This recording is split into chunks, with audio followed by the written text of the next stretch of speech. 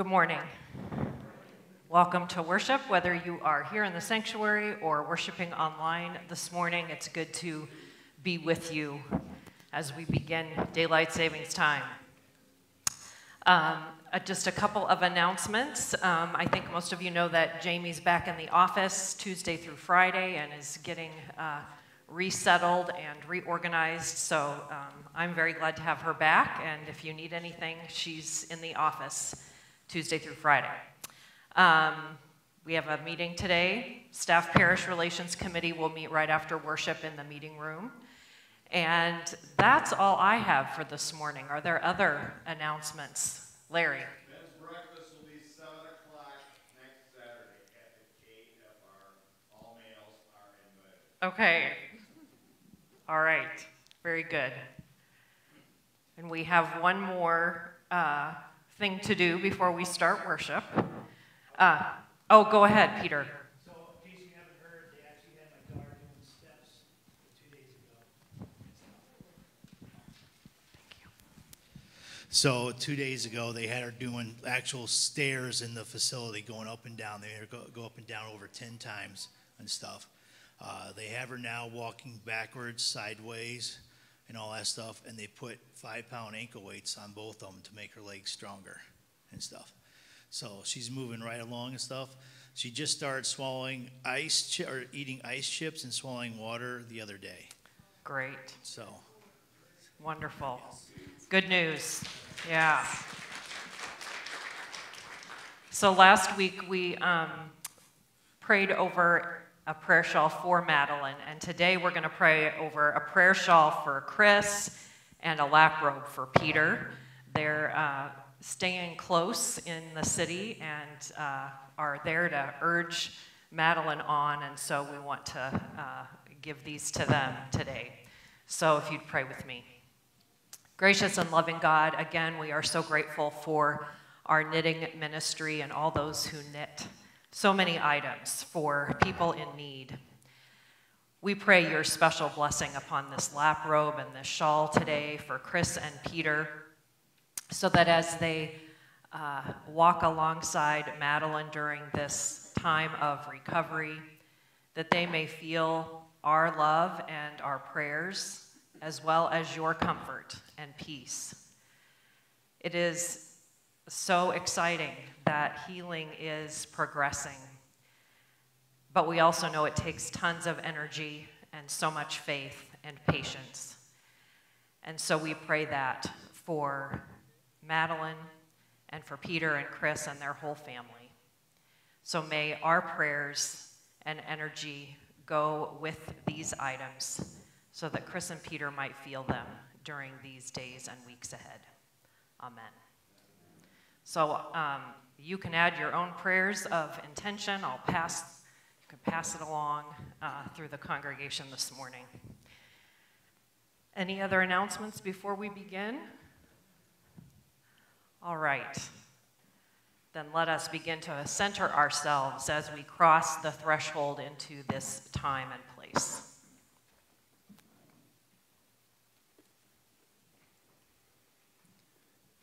We continue our movement through the Lent season this week with another of letting go. This week we lament that so much in life is out of our control.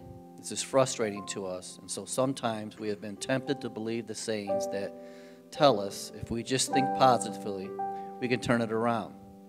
Yet our experience tell this, tells us that this doesn't always work. Let us turn ladder climbing towards the expectation of a perfect life into garden tending nurturing what is, and embracing our holy, good enough lives.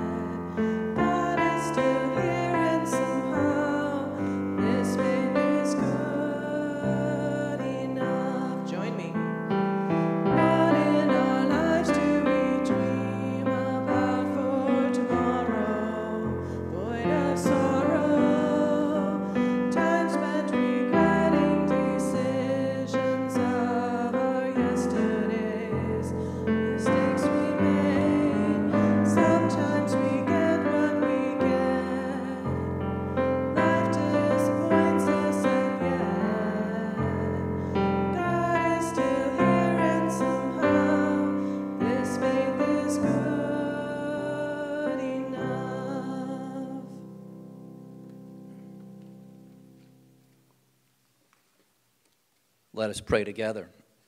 Holy One, our light and salvation, we call out to you, sometimes afraid of the adversaries in life. Shelter us in days of trouble. Lead us on level paths. Open us this day to your grace and your peace. Transform our frustrations into simple and good enough moments that fill our days. Amen. All right, it's time for the children's word. If Daniel wants to come forward, and Miss Diane's going to help me today. Okay. Oh. Daniel, how old are you going to be tomorrow? Nine. Let's sing happy birthday to Daniel. Ready?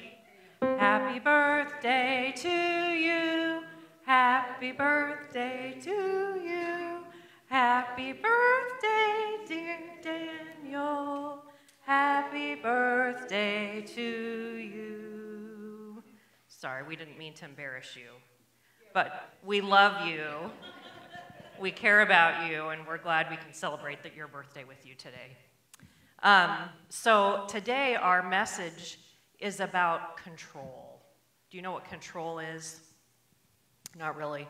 Well, when you're in the car with your mom and dad, they shift gears, right? There's reverse, there's drive, and that's the way we control a car. And if the car's working like it's supposed to, that will just happen. If you shift into reverse, it's going to go backwards. If you shift into drive, it's going to go forwards. Well, no. So that's what we're going to talk about. Um, Pastor Jenny did not do a very good job this week, or it could be my seeds were too old. Um, I did take them home and I watered them and I put them in a window, but maybe they weren't warm enough, or maybe they're just taking their time. Yeah. It could be it was colder near the window where I was trying to get sun. Maybe if I had them in the basement under some grow lights, they would have done what they were supposed to. I don't know. But Miss Diane has something she's going to tell us about. So I didn't have a whole lot of control over this. But Well, I don't like bugs and I don't like weeding. So I do my garden indoors all year round. And so last Sunday I started one. Here's the little guy. You see him? So this is called an AeroGarden, and instead of having water, everything grows in, I'm sorry, instead of having soil, everything grows in water in that little sponge instead of soil. And so it gets water, and then it has this grow light that's on top of it. Is it dripping on you? I can put him back. And it has a little little dome to keep it warm, and the light's very bright, so I didn't want it turned on during service. And it has a little water pump that pumps the water, and I have to pour nutrients, and it's very very um, self-explanatory for me because this light comes on when it's low on water, and I put more water in there, and the other light comes on when I need to add nutrients every two weeks. So I can kind of ignore it, except when it runs out of water, and just let it grow, and it grows pretty fast.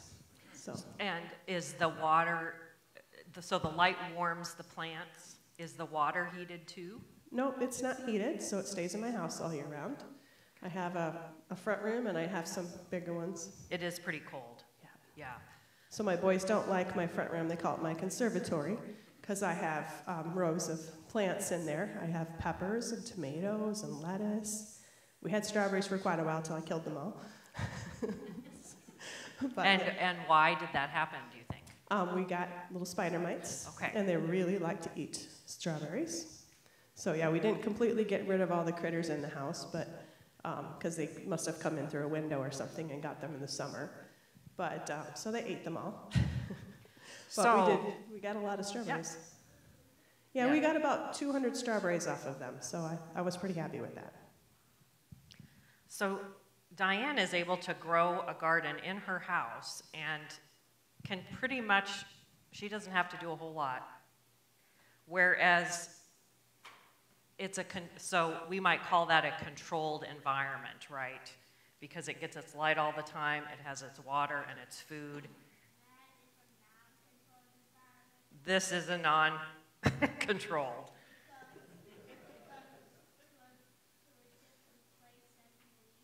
Yeah, right. So I don't have a whole lot of control over this. I can do my best, but there'll be much more success over here with the controlled environment. And, you know, farmers have to deal with an uncontrolled environment a lot. They, they're much more attentive than maybe I was this week to this seedling. But they fertilize on a regular schedule, they weed, but they also have to depend on the rain and the sun. And sometimes we get way more rain than we need. Sometimes we don't get enough rain. Where I grew up in Nebraska, people use irrigation so that they can help it out if, if we don't get enough rain. But farmers in Illinois, for the most part, rely on the weather because usually we get what we need. But sometimes it's totally out of our control.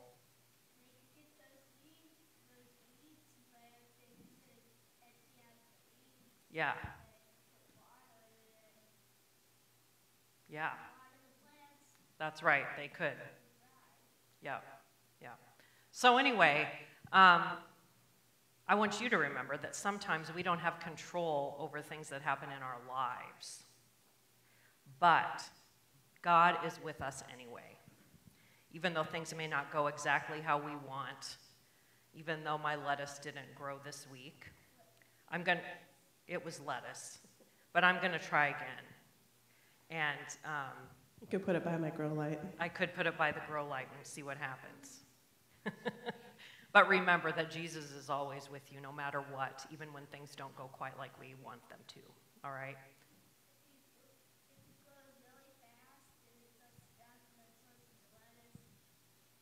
Yeah.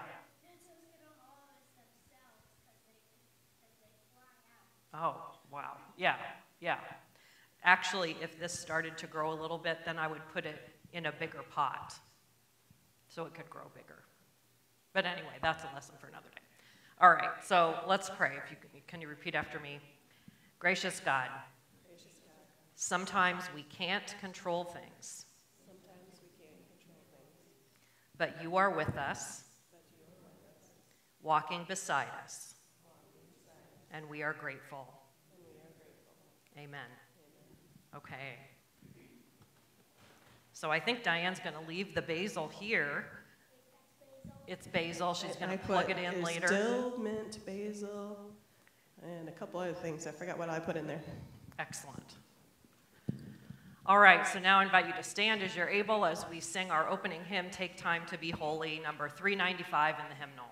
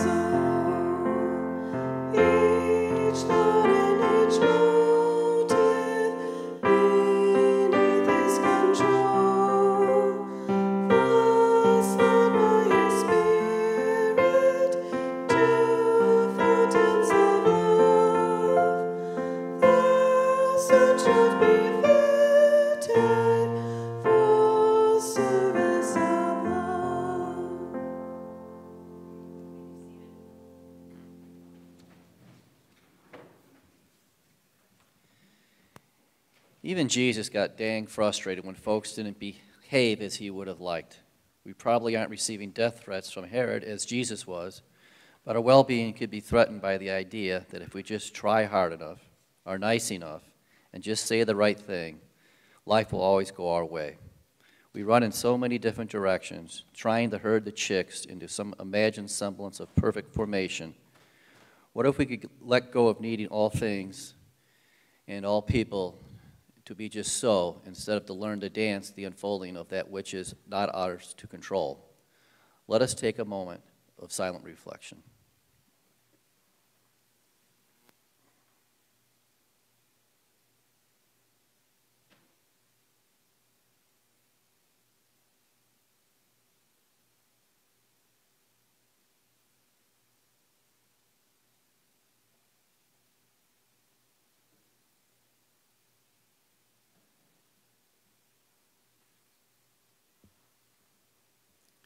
Hear this compassionate word from the psalmist. I believe that I shall see the goodness of the Lord in the land of the living. Wait for the Lord. Be strong and let your heart take courage. Wait for the Lord. Know that already God is offering us freedom from the feeling alone and fixing what feels so oh so wrong with this world, inviting us to let go of the need to be God so that we might recognize that God is with us, offering courage in difficulty and know that despite sometimes our faltering steps, in the name of Jesus Christ, you are being forgiven, even now. In the name of Jesus Christ, you are forgiven. Glory to God. Amen.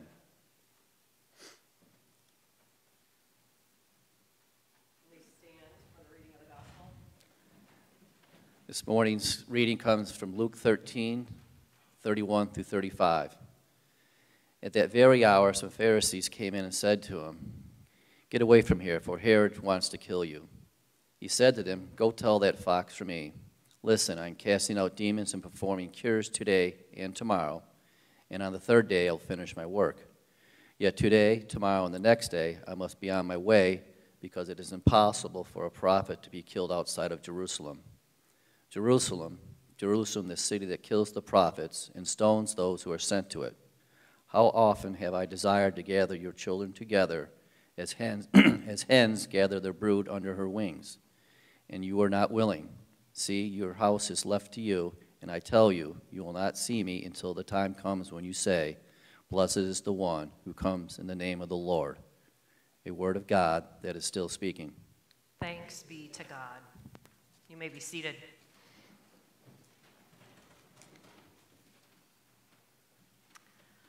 So, most of you know that we have chickens at our place, and every year we lose some, either to illness or to predators. And of course, hens stop laying or lay fewer eggs as they get older. So, you always have to keep adding to the flock to make sure that you get those eggs.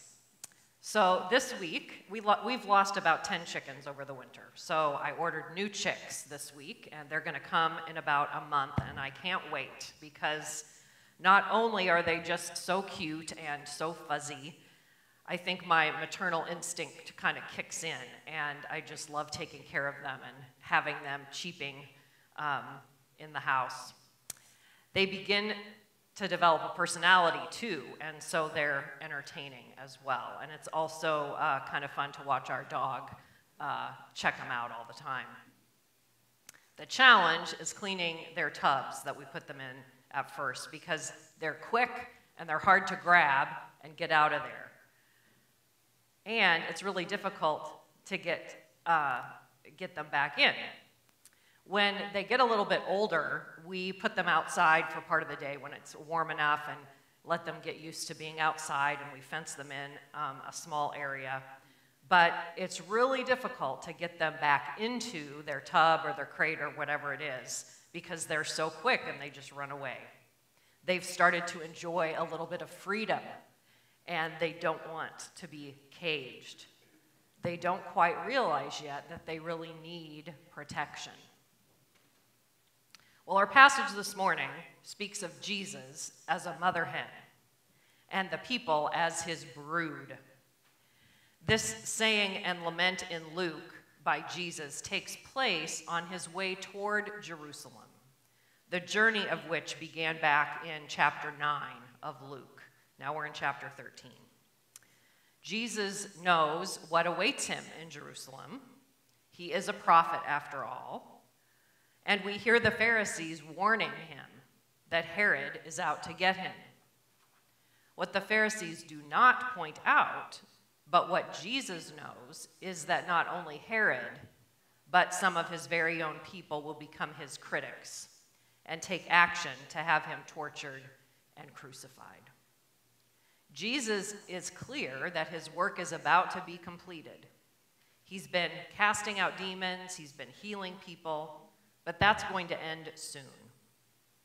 Jesus knows that the Roman government, supported by many people who will gather in Jerusalem for Passover, will have him killed. So Jesus then goes on to point out the human propensity to fulfill society's expectations rather than God's, despite the fact that God continuously promises to take care of us. Like a hen protects its brood, Jesus will protect us. And just as the hen will sacrifice herself before she allows a predator to attack her chicks, Jesus will sacrifice himself for us. Jesus is trying to protect his brood, his people, from the likes of Herod. Herod, the local king who represented Caesar and ruled with the sword and with the support of an army and other Roman officers, as well as the tax collectors. The people of Judea living in poverty did not like Caesar, they did not like Herod. And yet, Jesus doesn't promise to replace those officers and that government. Jesus offers his people hope and healing, but he would not become the political savior they wanted him to be. So, therefore, like a mother hen, Jesus cannot completely control those of us who follow him because we're stubborn and we have been given the freedom to make our own choices. Jesus promises us salvation Jesus promises that his yoke will be easy and his burden light, unlike the political rulers of the world. And yet, people, we, keep running off, pulled by the trappings of security, the temptations of the newest bright and shiny thing, perhaps power and prestige, and a host of other things which can never truly fulfill us. And so that is why in this passage, Jesus then laments. Because God comes to earth in the form of a human being so that we would really see and understand the freedom of God's grace and the power of God's love. But we keep straying from the path. We're constantly trying to meet others' expectations, to be all things to all people, or to do what we think will satisfy our inner yearnings and desires. Instead of staying on the path that Jesus has taught us to follow, we get sidetracked and lured by the temptations of the world. We try to build the perfect life or the life that we think we should have. We follow the rules and complete the steps that are supposed to result in us getting a good job and finding a loving spouse, making a home, etc. But sometimes something happens to disrupt that plan for the life that we think we want or desire. A terminal illness or a recession, an injury or an infidelity, a job layoff or a tornado, a pandemic or a child born with special needs a death or drought, an invasion by a power hungry leader that impacts the economy halfway around the world. Those events, which are completely out of our control, can knock us off the ladder or push us off the path. And that can be frustrating, it can be discouraging, and even devastating. Yet Jesus is always there, continuing to gather us in, offering us a place of love and nurture. Jesus is present, letting us know that life is not perfect, but that he will never leave us. I think we can relate that so much in life is just out of our control. I spoke to someone the other day whose young daughter, she's in her late 20s or early 30s, had just gone through breast cancer, which included a double mastectomy, chemo, and radiation. So young, and something totally unexpected in a very healthy young woman who took really good care of herself. Enough, though, um, excuse me, and even though she's cancer free at the moment, there's a greater chance that that cancer could recur later in life because she got cancer the first time at such a young age. Kate Bowler, one of the authors of the book Good Enough that our series is based on, was diagnosed with stage four colon cancer at the age of 35. There's only a 14% chance of individuals with that diagnosis to survive. And typically, they only live for two years after that initial diagnosis. Kate had just given birth to her first child. She was at a great place in her career, a professor at Duke Divinity School. And yet, seven years later, she is still here. I think she probably has at the back of her mind wondering if that cancer will return. But at the moment, despite what was totally out of control, out of her control, she is here. Madeline Bram, 22 years old, has a brain bleed out of nowhere, but survives. And we know she was initially paralyzed on one side, with doctors unsure that she would talk or see or hear at first. And yet it's only a month later, and she is walking and talking, seeing and hearing, months ahead of where the medical professionals anticipated her to be. Now, not every story is like this, of course. Not every story has kind of the good ending or the positive trajectory, right? Some other stories would have those people not be in the good place they are right at the moment. And yet, we walk through those difficult times, the way we walk through those difficult times is something we can control. We may not be able to control the accident or the injury or the disease, but we can control how we respond. And sometimes that response leads to healing. We can think positively. We can surround ourselves with people who love and can cheer us on. We can remind ourselves that we are a beloved child of God who doesn't have to do anything to receive that love. We can ask others for what we need and not be ashamed for asking for help. We can be okay with what we can accomplish in the next hour or the next day and just keep telling ourselves this is good enough for now. Having Jesus as our mother hen, keeping us warm and continually reaching out with his wings, can buoy us up and keep us going, even in those times that we experience things out of our control.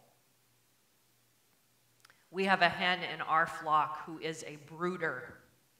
Even though we don't have a rooster don't anticipate any chicks, she just has this instinct to sit on the eggs. She pushes them around, and sometimes you'll find four or more eggs underneath of her. And she will not move from that spot she has picked out to be the place where she broods. She is always in that corner, and every morning I have to go out, I have to lift her up and collect the eggs put her back down and she just stays there. I don't know when she eats or drinks because she's always in that place when I see her. Even though we don't have a rooster and those eggs are never going to hatch, if they did, those chicks would be kept warm and safe for sure. she would try her best to protect them from any predator. Now, we don't always have control over the things that bring harm to us. But we can be assured that Jesus is like that mother hen and will do whatever he can to keep us warm, to provide us with love and nurture, to bring us under his wing in whatever situation we find ourselves, offering us comfort in the midst of the storms of life. And that sometimes is good enough. And in fact, I might even say that's more than good enough to know that Jesus, our Savior, is always putting those wings around us wherever we find ourselves. That is good news for us today. Amen.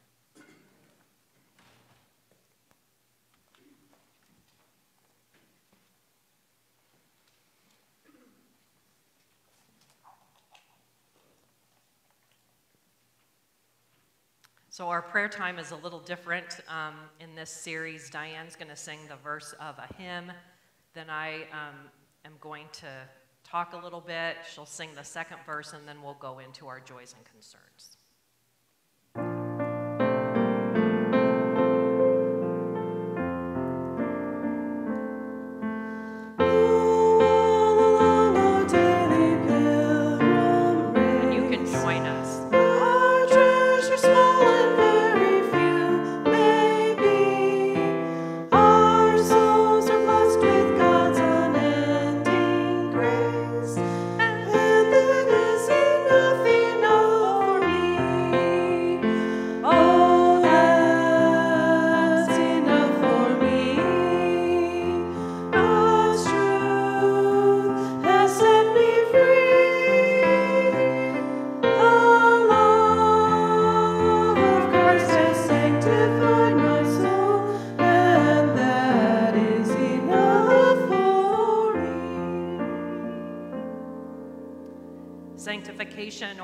Process of being set apart or made holy, is a theological concept that has been greatly debated over time. Are we made holy in a once and done kind of way? Or are we always simply moving in that direction based on our merits? It, as, it is as if once the debate is settled, then we can know what to do and control the outcome of goodness for ourselves. And yet, if we worry less about our own sanctification and worry more about treating the world, the planet, and all of creation, especially those who are suffering, as holy and worthy of our love, then we will be acting on what we can control, sharing what we have with others. Let us sing together.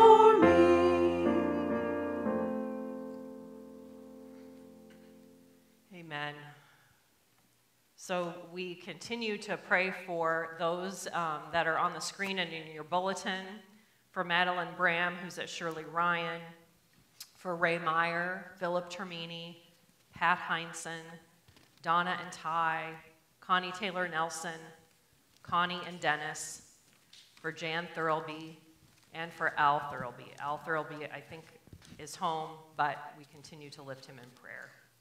God, in your mercy. Are there others that you would pray for or updates to those I've named that you would like to lift up? Or places or people or situations, joys or concerns?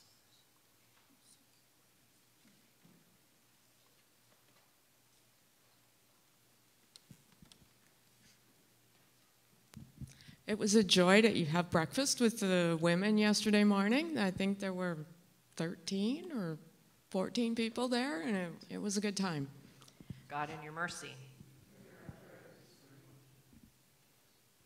Any other joys or concerns this morning?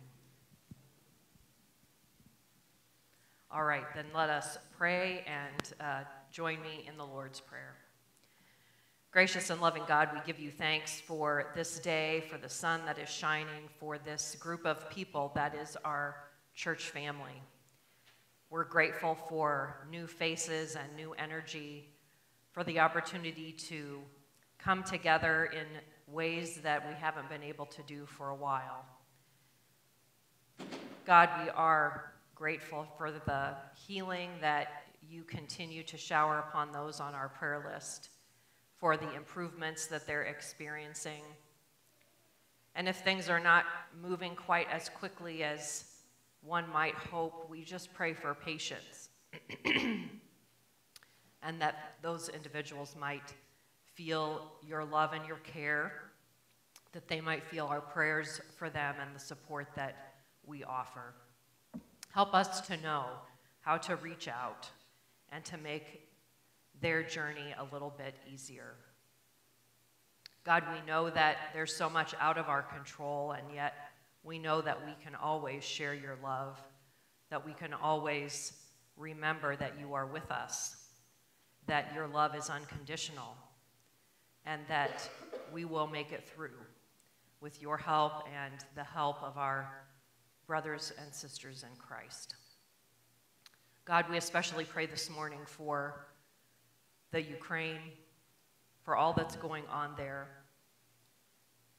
We just ask that you provide protection,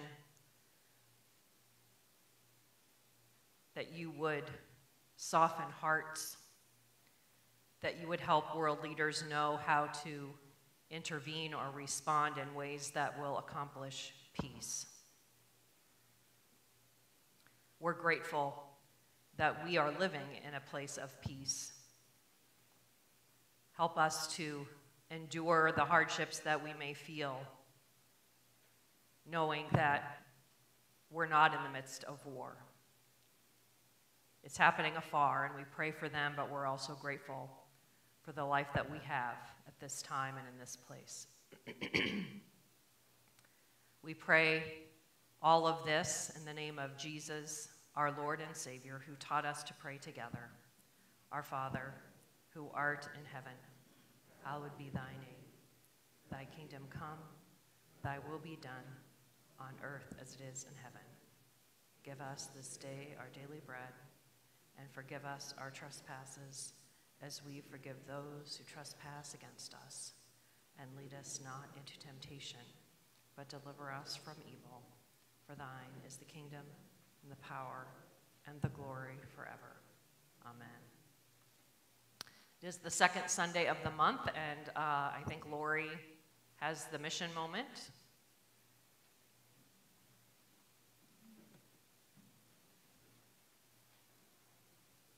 Our missions for this month are the food pantry and keep Northern Illinois beautiful.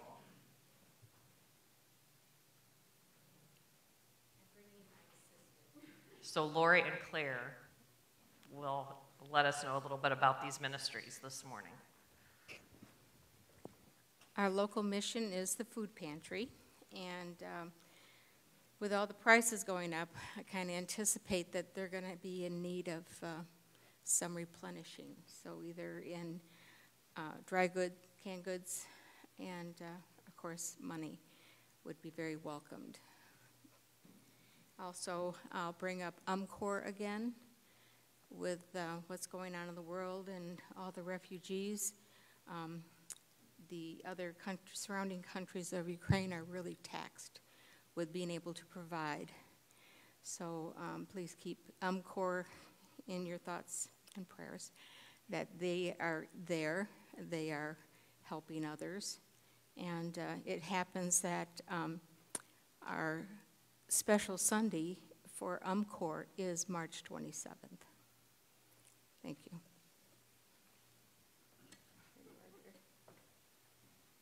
Well, these two missions are both places where I spend a lot of time.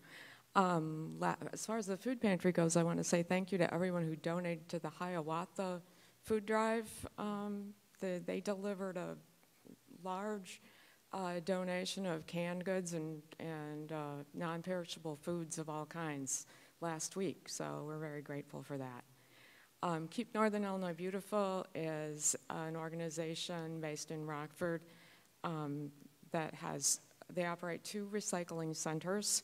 One's up in Machesney Park, the other one's on the south side of Rockford, so it's easy to get to from here.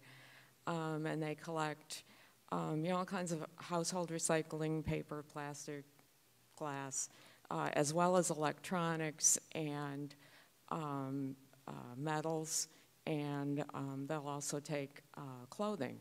Um, as long as it's clean and dry, it doesn't have it doesn't matter if it's torn or um, stained or whatever. It can be recycled.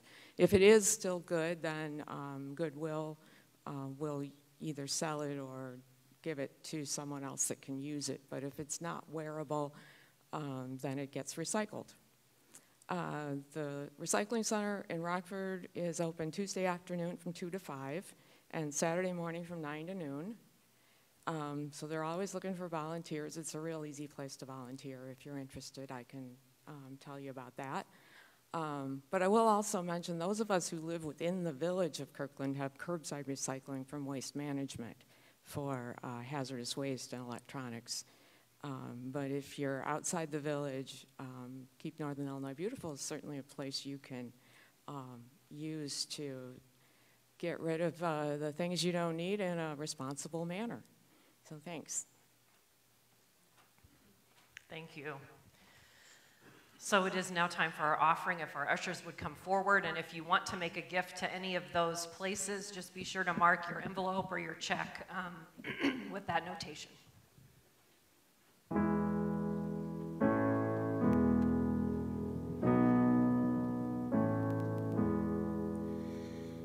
I have unanswered prayers.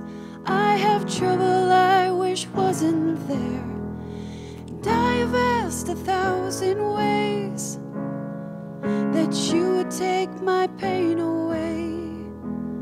That you would take my pain away. I'm trying to understand how to walk this weary land. Make straight the paths that crooked lie. Oh Lord, before these feet of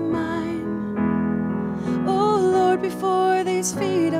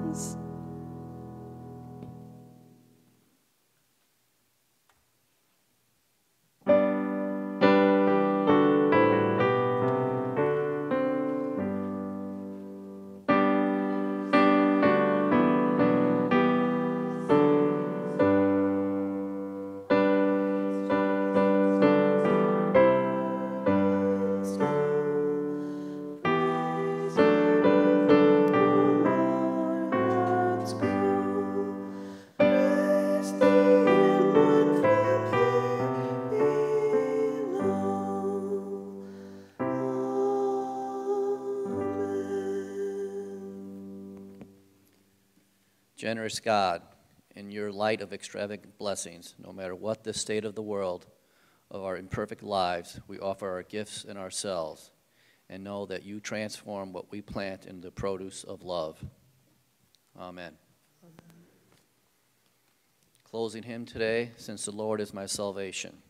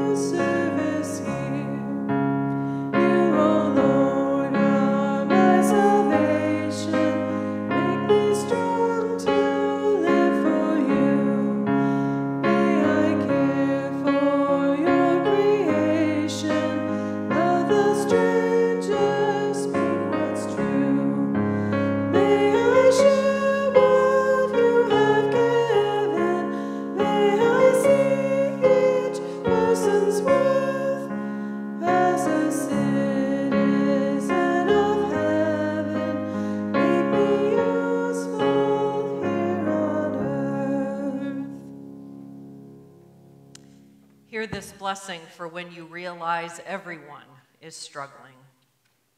Blessed are you who see things clearly, where struggle is everyone's normal.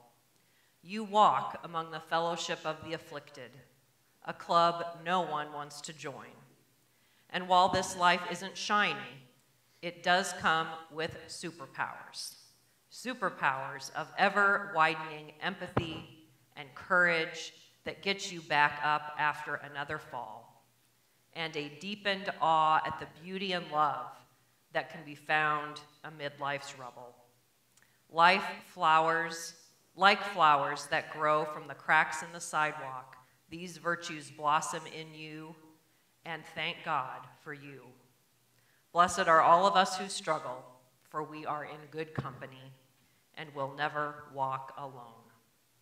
So now may the God of all creation, especially when it's painful, and Jesus, who is our companion along this crooked path called life, and in the name of the Holy Spirit, who loves to improvise in surprising ways, go with you, dwell among you, and give you joy. Amen. God is still here.